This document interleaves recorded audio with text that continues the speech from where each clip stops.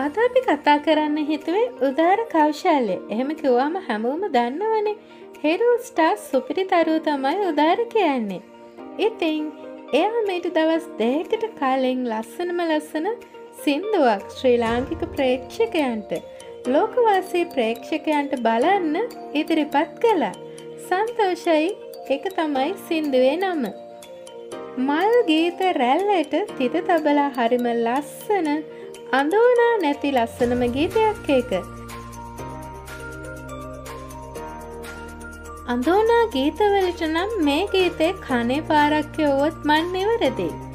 දෙකටම වීඩියෝ එකත් එක්ක එන්නකෝ හරි ලස්සන සිදුවේ මුත් මේ ගීතයට පාදක වෙලා තියෙනවා.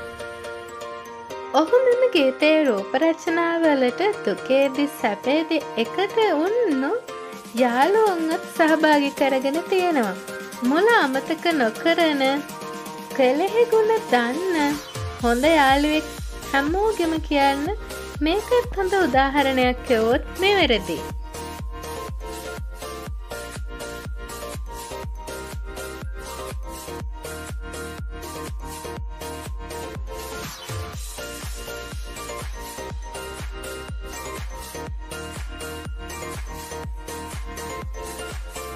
උදාය කියන්නේ ඉතාම නිහතමානී ගායකෙක් කිව්වොත් මන්නෙවරදී. ඉතාමත් චෝට තැනින් පටන් අරගෙන අද වෙනකොට මුළු ලෝකයම ආතරේ දිනාගෙන තියෙන අත්ති දක්ෂ ගායකෙක් කියන්න ඕන. ඉතිං ඕල මේ දකින්නේ උදාරමාව පූ ලස්සනම ලස්සන විලාසිතා කීපයක්. දෙකටම වේඩෝ බලන්න මේ වගේ වේඩියෝස් බලන්න මාව සබස්ක්‍රයිබ් කරන්නත් අමතක කරන්න එපා.